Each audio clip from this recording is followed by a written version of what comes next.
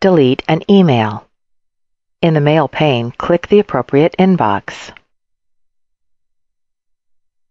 In the Inbox pane, click the email to be deleted. At the top of the screen, click the Delete icon. This is the process to delete an email.